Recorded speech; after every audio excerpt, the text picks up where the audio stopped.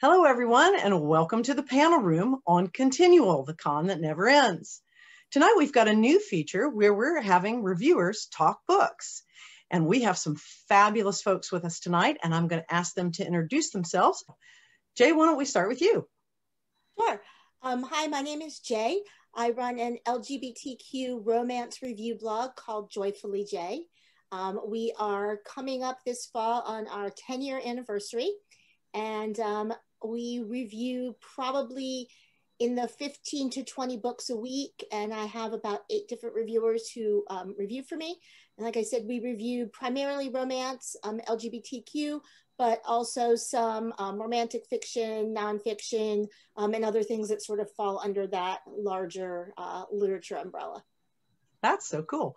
How about you, Jeff? Hi, I'm Jeff. Uh, I am one half of the Big Gay Fiction podcast. Uh, my husband and I uh, have been doing the show now. We're actually going to celebrate our 300th uh, episode uh, in early awesome. April. Uh, so we've been going about five and a half years now. each week we have author interviews, but we also review a good number of books. Jay is actually one of our contributors, talking to us about what she's reading. Plus, Will and I read a whole bunch of stuff uh, primarily romance, but we do branch out into some other areas uh, periodically as well. Most excellent. Jose? Hello, I'm Jose Bogran. Uh, I write uh, book reviews for the Washington Independent Review Books, and I also am a contributor author for the Big Thrill, the e-zine or e-magazine from the International Thriller Writers. And that by itself is a giveaway about what kind of books I read, right? Absolutely. well, I'm right there with you. I'm always reading thrillers, uh, suspense, and romantic suspense. So we, I think amongst us, we'll be able to recommend some great books tonight. So, what are some new and forthcoming books that have got you really excited that you're really looking forward to? Let's start with you, Jose. Well, I've been trying a couple of ways to get my hands into Razorblade Tears by uh, Shawn Cosby. And I haven't managed yet. I'm still trying but that's one of the ones that everybody's talking about. And uh, because that's his second book, I believe, or third book, but the last one, uh, Wasteland Top, uh, was uh, really good and, and everybody was talking about it, even Stephen King. Oh, well, that's a good recommendation. yeah, so I'm looking forward to reading this one. Cool. Jay, what about that's you? top one.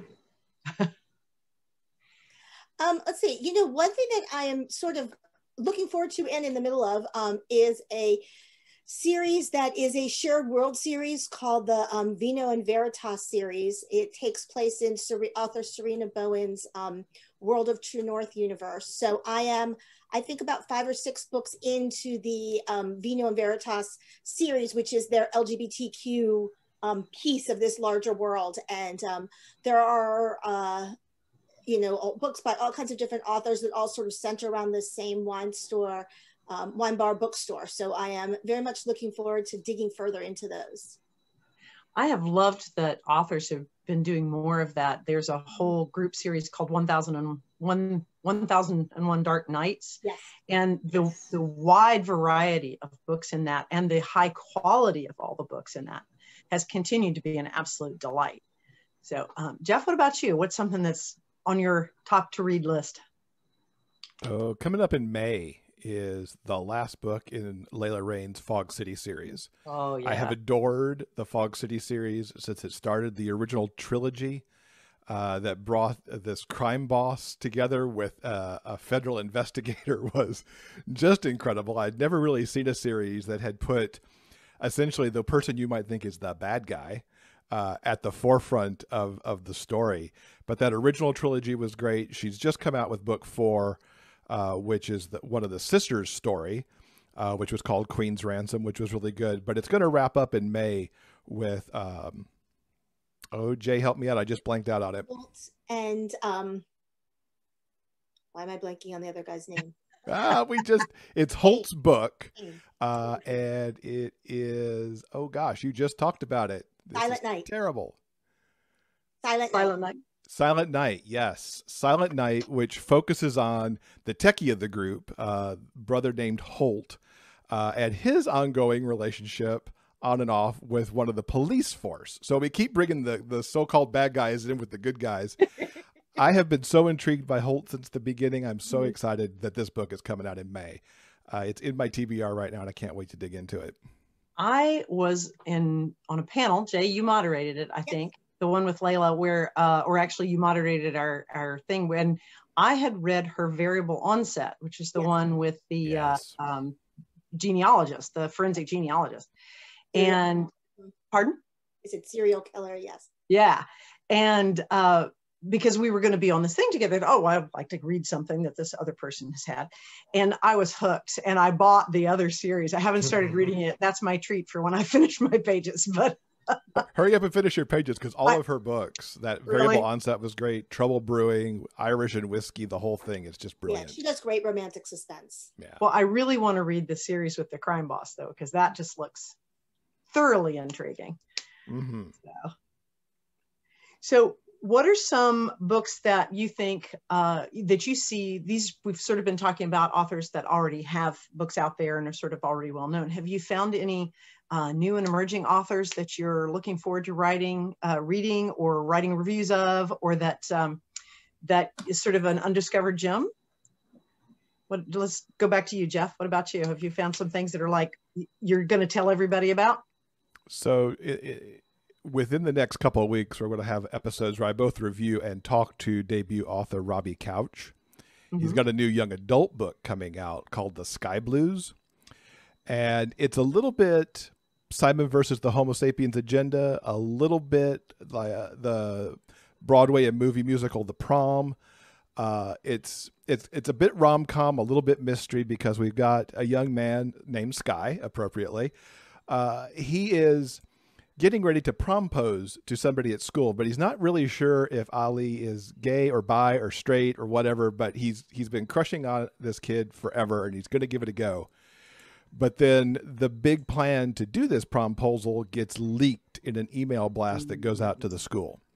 You can oh, imagine no. what happens from there. I mean, it's it's it's a lot of homophobia going on there, but his friends rally around him. Big facets of the school rally around him all of these different people kind of surface and the, the, overall message to me here that i really liked was that you know it takes a lot to let yourself be seen to your friends and on the other side you don't know what people are holding back who you think you know but you kind of don't yeah. and the way that all of this kind of comes together as people try to solve who did this leaking of the information is really brilliant. Yeah. Plus, there's a nice little side bit about some stuff going on with Sky's family that I don't want to spoil because it's really tender and beautiful. But it's a tremendous debut book, and I really hope a lot of people, you know, pick it up and, and give it a look because it's it's just super good. Cool. What about you, Jose? What's something new and different that's coming up on your watch? Uh, I recently read The Kingdoms by Natasha Pulley, and this is a British author. I don't think this is her first book, though but this one is really interesting. It was way beyond my, my normal reading. It was assigned to me, and I was glad it, they did because I actually enjoyed it a lot. It tells a story. It has uh, it mixes genders, and it stays with uh, some historical and some uh, time traveling. And I don't want to give too much a weight of it, but it's uh, it's really good, and it's a little bit of historical and what stories and what the story might have been is something really small change in the past and how that affects into the present. And and it jumps back and forth and everything it can up jumble up. And then you end up with a with a train station in london with a french name for example. Oh wow. And so it's uh it's really entertaining. I really enjoyed it a lot. I am so that's serious. recent discoveries. And and the i cannot say much because the actual review that i wrote uh, for the washington independent it's going to be released until May. So uh, oh. I give you up to I recently discovered an author named Rin Chupeco, and her first book was a book called The Bone Witch. And she's on her third book in it now. And it's one of those ones that you just can't stop thinking about. It's so such an intriguing concept and the way she set up the world. And I just couldn't stop thinking about it. And so I got the second book, and now I'm eagerly awaiting the third. that works. Yeah, it is. And I'm so glad to find new people like that. It's always such a joy. Um, Jay, what about you? What's some what's a new debut author or somebody that you're Sure. Um, you know, I was looking back at my some of my recent reading, and I haven't read too many new debuts lately, but I or do new debut authors.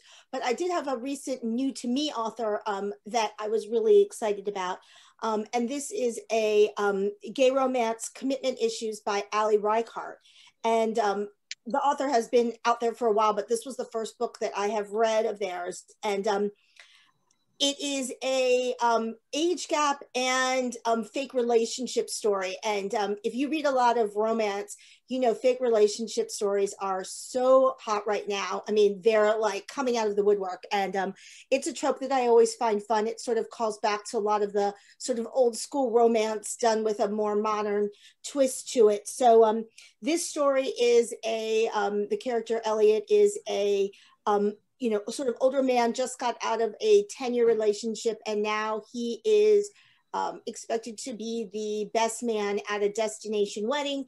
And of course, his ex is the other best man at this oh. destination wedding. And he lets um, a friend sort of talk him into a um, sort of blind date arranged uh, uh, date with this younger college student who um, needs the money to sort of pay for all of his assorted schooling. So um, Elliot goes ahead and, um, you know, sort of hires um, Freddie to come and be his date for the weekend. And of course, what starts out as fake for the audience ends up turning into this great relationship. But um, what I really liked is that it doesn't end there after a week, which often happens, and you sort of have everything crammed into a short time period.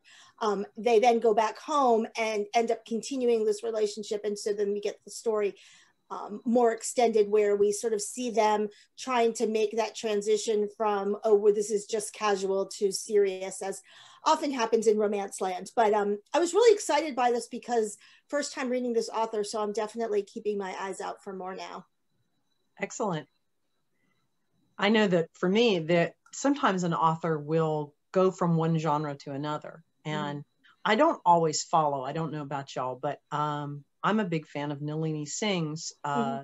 two big series. Both of them are, are romance, or I guess they could be turned paranormal romantic suspense. But she has now written two straight suspense novels, and they are outstanding. If mm. uh, uh, the Quiet in Her Bones and I forgot uh, this uh, um, a Madness of Sunshine, I think is the other one, and they are outstanding if uh, if you're up for a uh, from Nalini, if you're up for something from Nalini that doesn't have romance in it. And the other one that I'm really looking forward to, I don't think it's out yet, but it's called um, Finlay Donovan is Killing It. And Jeff, you mentioned uh, uh a YA book, and I was first introduced to, to Elle Cosimano, who's the author, um, through Thriller Fest and Jose, I know you're associated with Thriller Fest and the Ezine you said, but um, I read for the Thriller Fest contest, I read her young adult novel, which was absolutely gripping. It was fabulous. So I saw that she was doing this adult book, which is a suspense, and I'm really looking forward to it because it's it's billed as kind of a rom, sort of a not a rom com, but sort of a comic suspense it, she's sort of a single mom and you know it's kind of a little bit of a romp at the beginning but it turns really serious. So i'm looking forward to that one. What and uh, so uh, any any others that y'all are looking forward to? Jose any others that if you're looking like, forward to?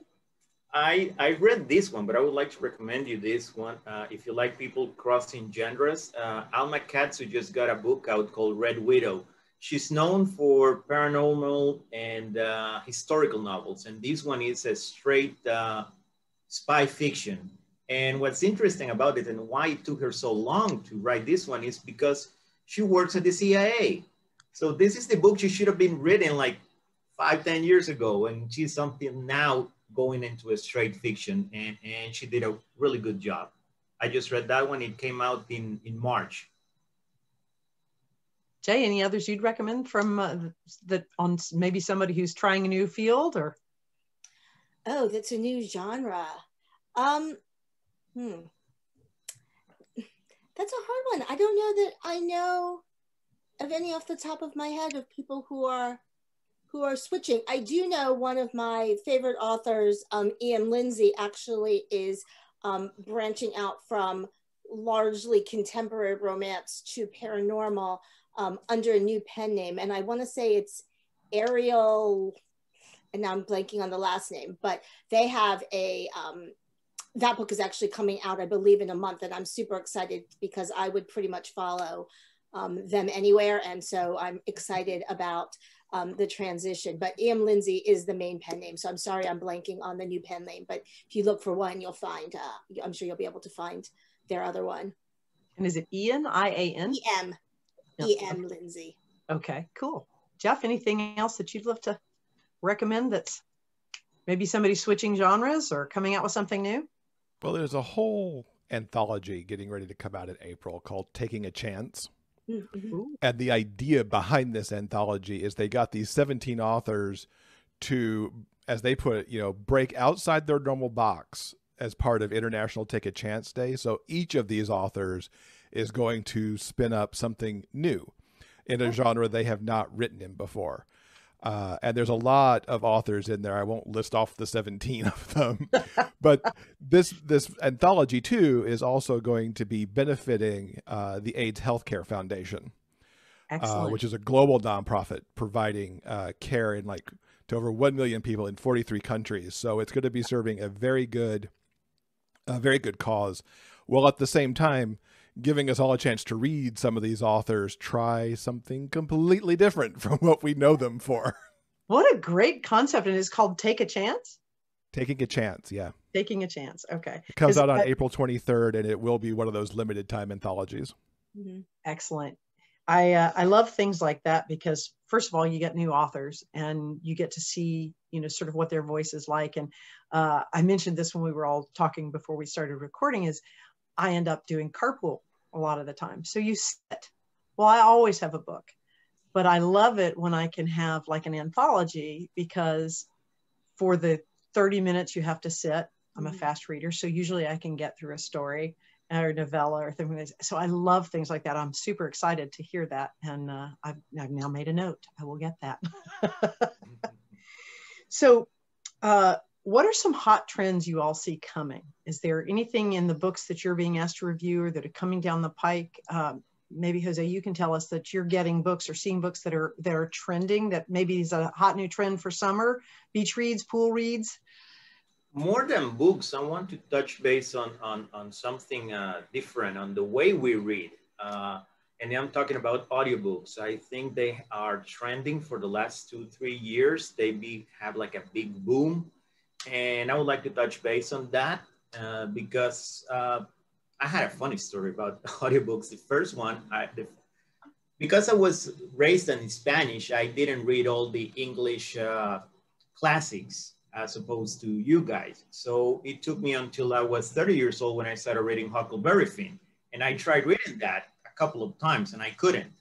uh, for obvious reasons, you know how the how the writing is phonetic, and I couldn't make it out until I found an audiobook narrated by Elijah Wood, who played Huckleberry Finn in a movie a few years before.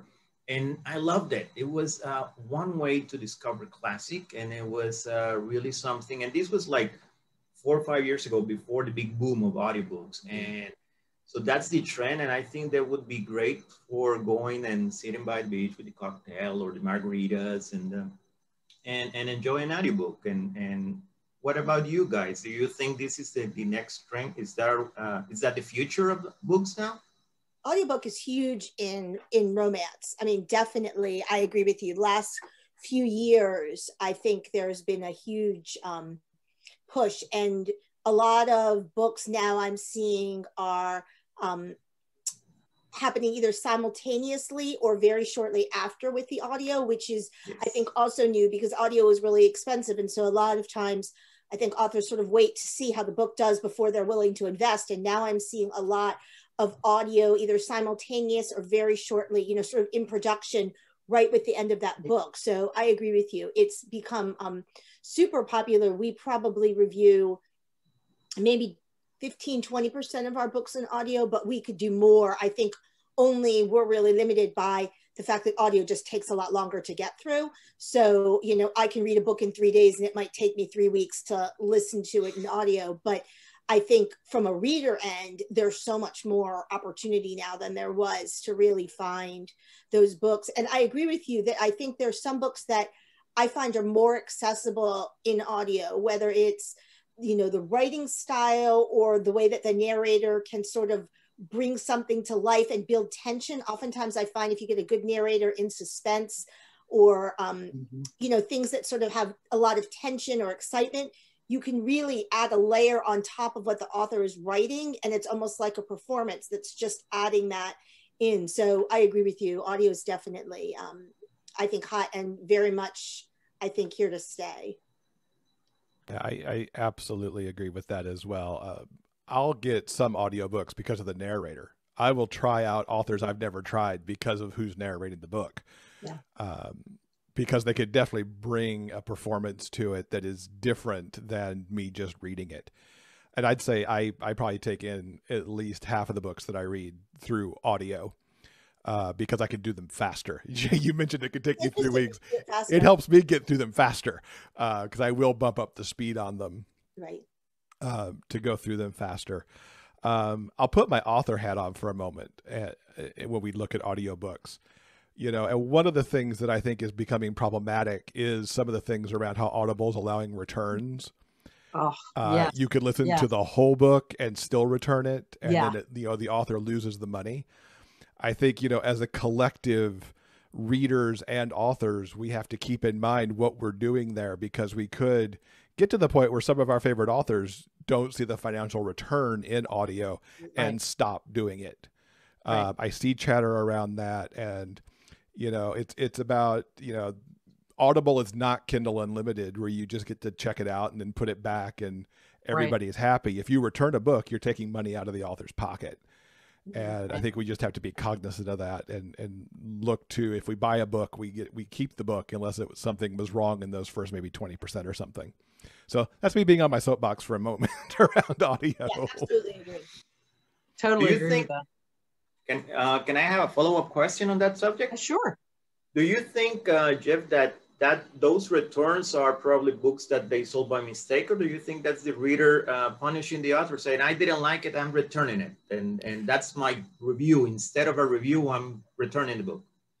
I actually don't think it's either of those. Yeah, In I agree. most cases, I think what we're seeing are people who you know read the entire book and if you didn't like the the book you probably should have stopped reading it before you got to the end okay. but we see stuff in online groups and you know people even talking about what they're doing and they're treating their audible credits like a library it's like i take i check it out i read it i finish it and i return it so i can use the credit over again and audible's partially to blame for this because they've allowed a return policy that makes that happen and you know people have exploited that policy um, you know, I know, you know, if I don't like a book, I'm probably going to figure that out within the first 20%. well, and sometimes it's not even the book, it's the narrator. But, sure. but you know that in the first 10 minutes of the, if the oh, yeah. narrator is going to irritate the crap out of you, you know that in the first 10 minutes of listening to it. And it, it's a cheat. It's just like downloading books on pirate sites. It's a cheat. And yeah. it, for those of us who are authors, it is taking money out of our pockets and it it's keeping us, I mean, some of us, I mean, I know that I have not done Audible yet because the upfront investment is so steep. And, but yet I have, every time I've done a con, which has been at least a year, but even at that point, people were saying, well, are your books going to be in Audible? Can, you know, can I get the witches walk in Audible? Cause I really want to listen to it. And I'm like, I wish, you know, it's just the, the cost is prohibitive. Now that is coming down. Mm-hmm. And I think that um, some of the author groups, uh, Romance Writers and uh, Authors Alliance, and several others are working with Audible and some of the other um, uh, audio audiobook companies to see if they can't get that changed. Yeah, Audible's certainly gotten better. They've changed it from up to a year to I think it's seven days now that you can return it, but that's still plenty of time to listen to a book and yeah. turn yeah. it back. I mean, I'm hearing stories about people who say that they have somebody buy one book at a time in their series you know, I read book one, I return it, I use the credit for book two, book three, book four. So I agree with Jeff. I think that there probably is a small portion that this is a, you know, sort of protest, didn't mean it, whatever. But, um, and listening to readers comment on Facebook, there's very clearly a large subset that are purely doing it because they can and Audible's letting them. Um, and are in fact, you know, going out and just returning books so I think somebody counted it was like 40, 50 times that they used the same credit to buy another book. Oh so, my word. Without wow. being stopped by Audible to say, hey, what's going on? So definitely seems to be a problem. Yeah. Bush. Audible or audiobooks? Yeah. Audiobooks in general.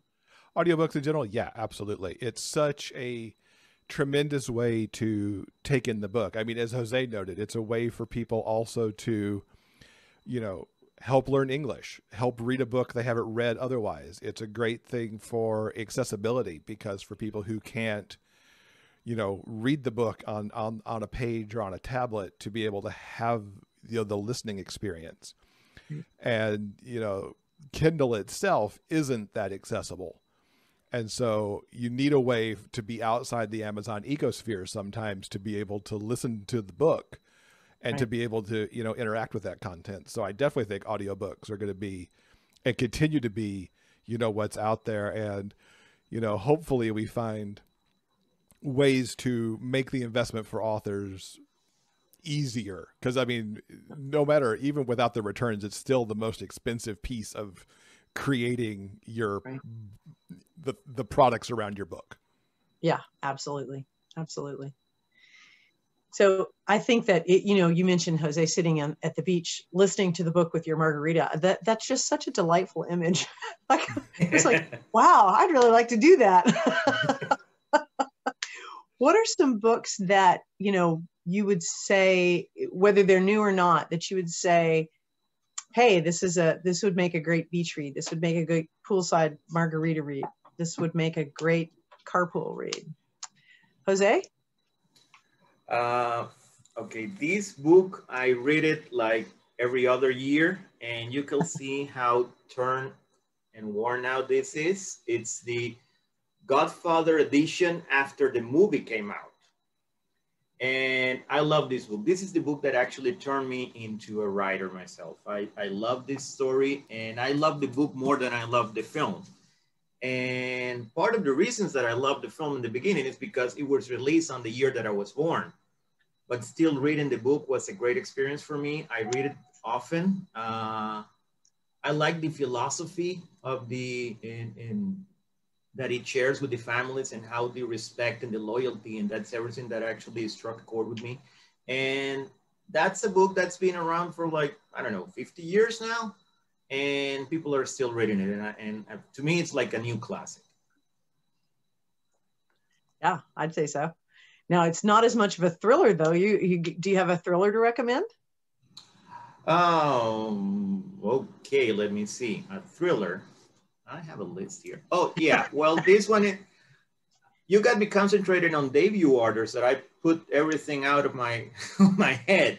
Uh, I have Fast Eye, but Ice by Clive Cussler and Graham Brown. I just read that, and, and it's it's amazing. Uh, Clive Cussler is one of my top three authors. Uh, I started reading them back in the 90s, and uh, I've been a fan since then. And after he passed away last year, I think his legacy lives on with the uh, with the co-authors. And Graham is a great guy. He runs the Numa Files, and that was one of the first spin-offs that came out.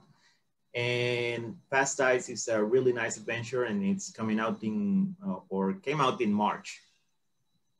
Excellent, great recommendation, Jay. What about you?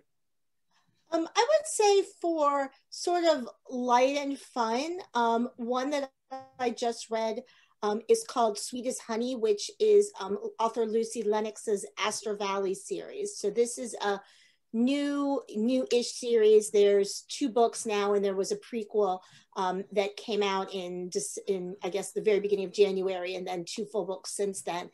And this is sort of um, sweet, fun, yummy, small town um, romance. It takes place in this sort of idyllic, um, as Romance Land does, idyllic small town in Colorado. But um, the story is between a um, character Truman, who is sort of a native of the town and who is um, the object of a lot of ire from people for something that they believe he did as a child that sort of threw off the economy um, in the town. And um, so he's got a lot of people sort of don't like him and are after him. And then Sam, who comes into town to visit with friends who are the main characters of the previous book. And uh, the two of them meet, and it's very much an opposite attracts sort of situation. But I really liked um, the dynamic beca- between the characters because sometimes you can get sort of a very paternalistic sort of big tough guy with sort of um, the sort of younger more vulnerable character and i liked the way that she balances the two here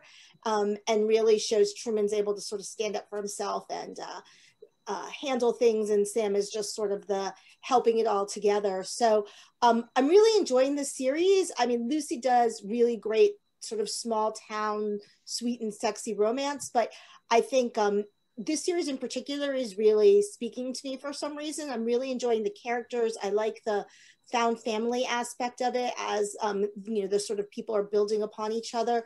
Um, they're not actually relatives, where a lot of her books are family members. So um, I'm having a lot of fun with this, and I'm looking forward to. We get a little taste at the end of who the next main character is going to be. So if you sort of want sweet, sexy, fun, romantic, um, check out the Aster Valley series by Lucy Lennox. Cool, Jeff. So I want to talk about uh, a book by Adriana Herrera. Uh, she's an author of color, does incredible work. If you've if people have not picked up the Dreamer series yet. Uh, which is um, I think the first book's almost two years old now. Yeah. Uh, yeah. That whole series is amazing. She's actually nominated for a Lambda Literary Award this year in the gay romance category for Finding Joy, mm-hmm. which also absolutely incredible. That one happens to take place uh, fully in Ethiopia with two aid workers who meet there. oh wow, cool, amazing. But what I want to talk about is her latest release. It's called Caught Looking, and this is actually a novella. So it could be the perfect, you know, quick read at the beach, quick read by the pool, or whatever. and, and, it takes place in the summer, so it all kind of connects. Um, in this book, you've got Yari, who is a superstar shortstop player in the major leagues, and Hatui, who is his best friend going back for years, also happens to be the team's interpreter. And as this story opens, these these guys are actually in a panic because they might have just jeopardized their decade long friendship because of one explosively passionate night they just had together. Uh, Yari is insistent that it can't happen again, but Hatui's absolutely like, oh, yes, it can. they immediately head off to the Dominican Republic for a series of charity events that they're doing uh, down there.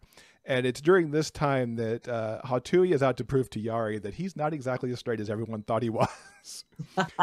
Hatui is really relentless, really trying to prove to Yari that they could be good together and that they could certainly move from good friends into being so much more. I have to say, on the trip, these two are so ridiculously hot. They flirt, they provoke each other, they engage in this blisteringly hot sex, and it all wraps up in this wonderful epilogue giving them their HEA. Excellent. Now, Will and I are both. We love Adriana's work so, so much. But what she's done in this novella with so much character development and so much heat is just really incredible. Um, yes, the sex scenes are crazy hot, but it's the passion that these two characters actually have for each other. And it's just evident in every single page, at every single moment that these two are together, which is really the entire book. There's not much of a moment where these two are not together on page and you know the loyalty that they are have as friends you just know it's going to click as lovers as well. Yeah. Uh, it's the best it's one of the best friends to lovers examples that we've really ever seen. And the thing that i think that is even a more credit to how she works this book is there's no meet cute at all here. It's not like friends coming back together or you know the book opens with these two in the aftermath of this sex that they've had, you know, sort of by accident, if you will. Um, and yet, oops. yeah. But she still manages to give you all the moments and hit all the right beats, if you will, of what you would expect in a romance. Uh, and it's just really brilliant how it all comes together. And I can't think of really a better little beach read because it is a novella but it's just packed full with so much great character and really so much hotness. I mean, it, it kind of would come together as a perfect summer read, I think. That's awesome. What's not to love about that? Exactly. uh, I would also recommend Priscilla Oliveras's. Uh, she's got it's. I think there's only two books in the series right now. It's the Keys to Love book one and two, and the the second one, which has just come out recently, is Anchored Hearts, and it's outstanding, um, super cute, and uh, it comes it comes out at the end of April, and the series is just darling. And then if you want to go really dark and and spooky and thrillery, as uh, Jose would probably talk about, is um, Loreth Anne White's Beneath Devil's Bridge. Her she started out as a uh, she wrote for Harlequin, she wrote for Silhouette, she wrote for uh, I think Avon or not Avon for um, Hachette. But now that she's gone to straight thrillers, wow, she has found her. You know, Jeff, you were talking about the uh, the anthology, the taking a chance, where people are trying a different genre. I think that Laura has always been an awesome writer, but when she switched to straight thrillers, she just found her niche, and man, are they good! And the um, Beneath Devil's Bridge is, I think, the fourth standalone uh, thriller that she's written, and it's it, it's going to be outstanding. It comes out in April as well. So, um, well, we are getting very close to time. So, what I'd like to do is have each of you, uh, if you want to make another recommendation before we wrap up, awesome. And then also tell our viewers where we can find you on the web and or on, in the media and um, go from there. So Jay, why don't we start with you? Any other recommendations before we, we sign off? And then how can we find you? Okay, I'll do a quick recommendation because I was talking about E.M. Lindsey and I just finished their um, latest romance called Other The Other Side of Here. Um, it's an interesting setup in that um, there's an established couple, um, Sebastian and Luca, who have been married for 20 years, and um, a young man, Zan, who's in his early 20s, who is um, sort of caught in the middle of an abusive relationship and knows he needs to get out, but just hasn't been able to make that move. And a um, wrong number, wrong text situation um, connects him and Luca. And as they're talking, Luca sort of realizes that this guy is not okay and reaches out even as a stranger. And the three of them um, end up texting and talking and ultimately meeting and forming this really intense connection. But Zan is very much not in an emotional place um, do anything. He ends up getting out of the bad relationship, but really needs to sort of figure himself out. And he's very drawn to this couple, but doesn't realize that they are feeling the same for him. And they are very much wanting to give him space so that they don't, um, you know, to give him sort of time to come into his own and figure himself out after this really sort of traumatic um, experience. So it's a little bittersweet towards the middle as you're seeing that they all want to be together, but they don't think that they can. And then, you know, there is a happy ending at the end, and I won't spoil how it all comes together. I really enjoyed it. Um, I like the, you know, sort of two people bringing in a third concept. I always enjoy those kinds of stories. And I think this is such a really um, interesting premise in that the attraction is there, the feelings are there, but the timing isn't right. And I liked the way that lindsey really explores that fact that sometimes like everything can be, the feelings can be there, but the, the fate is just not aligning you at that time and how they ultimately come together. So um, I really enjoyed that. It is coming out. In fact, I think it came out to two weeks ago um, in when this airs time. Um, and uh, that's again, the other side of here by E.M. Lindsey. And if you are interested in more LGBTQ romance, um, romantic fiction, nonfiction, and all that good stuff, check us out. Um, the website is joyfully, J O Y F L U L L Y, um, joyfullyjay.com. Um, I have it in my little screen name there. Um, you can also find me on Facebook, um, Joyfully J Reviews, and we have a Facebook group called the Joyful Jays. Um, I'm also on Twitter um, at, I think it's at J-A-Y-H-J-A-Y-432. Um, but you can find all of that if you go to the website in the top bar, there is a follow button And if you click the drop down, you can find me in all the places. So please come stop on by. Always happy to help give recommendations. Most excellent. Jose, what about you? Uh, first, I'd like to recommend uh, The Wicked Sister by Karen Dionne. Uh, this is her second psychological thriller. It came out uh, in August of 2020. And it's an awesome book. It's about this character, a young woman who grew up believing that she killed her parents. And on the first chapter, she discovers that police didn't think she did it, that there's something going on that she didn't know. And she's been in an she's been uh, living for like 15 years in an institution self that she uh, got herself into an institution because she thought she killed her parents. So mm-hmm. it's a very nice, uh, and then we get to see her mother through dual timelines, and we go back and forth between the the present and how the how the mother actually got killed, and it's a thrill of discovery. Uh, and it's a really interesting book. And it's her second one. The first one was the Marsh King's Daughter, which is also amazing. And and she's also a friend. so it's I like to recommend her books. And, and it's really amazing and how she reinvented herself. And one of the amazing things with this author is that when you see her, she looks like your favorite aunt, and you cannot believe all the weird things that go in her mind and her writing. So it's it's, it's really amazing. And um, and of course, you can find me at jhbogran.com and jhbogran at uh, Twitter, Facebook, and Instagram. I don't know how Twitter works, but I have an account there still. so, uh, uh, and that's it. Great. Great. Jeff? So the last one I'll recommend for just like an off the charts kind of fun, weird sort of read is called Revenge of the Brobot a Steam Room story by J.C. Calciano. Uh, a lot of people may know JC uh, because he's directed many films, The Ten Year Plan, E Cupid, Steam Room Stories, the movie. Uh, he did the uh, novelization of the Ten Year Plan, but Revenge of the Brobot is his first original novel.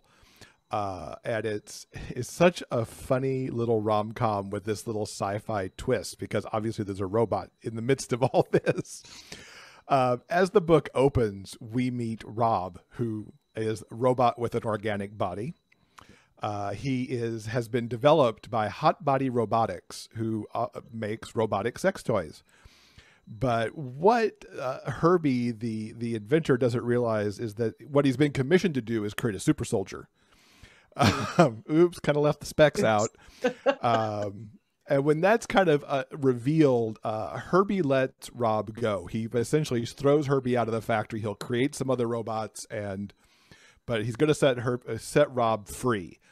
And it as, as things happen, Rob you know comes across Chase, uh, who is working for a design firm. He's working on getting this big museum exhibit open.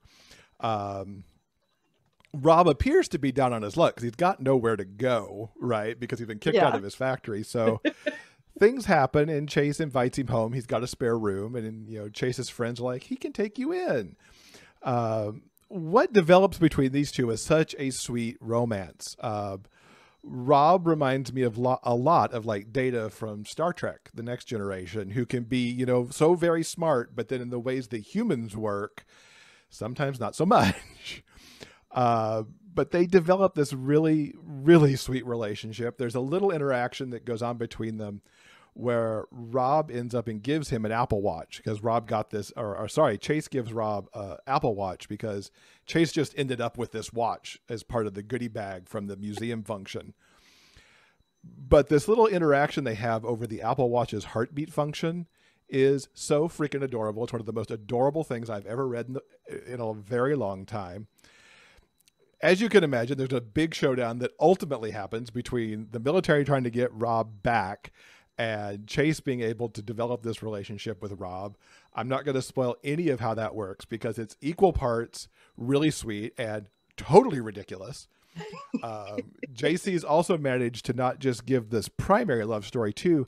He pairs up so many people during this book. It's almost like a three or four for the price of one romance at the same time so this could be another really fun beach pool read uh, this little you know sci-fi rom-com thing because we I just really adored it. It was so much fun. Uh, in terms of finding the podcast, we're at biggayfictionpodcast.com. We've got new episodes that come out always on Mondays. And these days, we're also releasing on a lot of Thursdays because there's just so much content to talk about. So you can look for us there. We're on Facebook at facebook.com slash Big Gay Fiction Podcast. And on Twitter and Instagram, we are at Big Gay Fiction. Most excellent.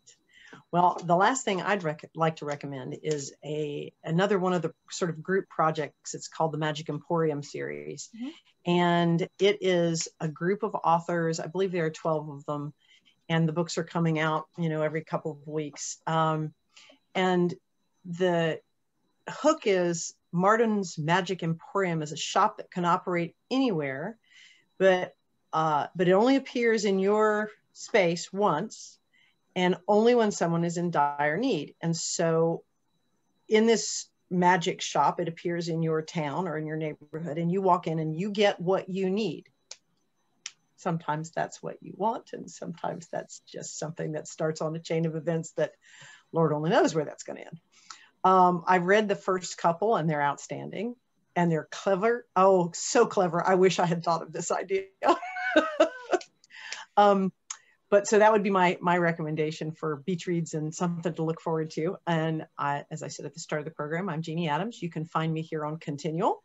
You can find me on the web at jeanneadams.com. You can find me on all of the social media, but I spend way too much time on Twitter, so you can usually find me there.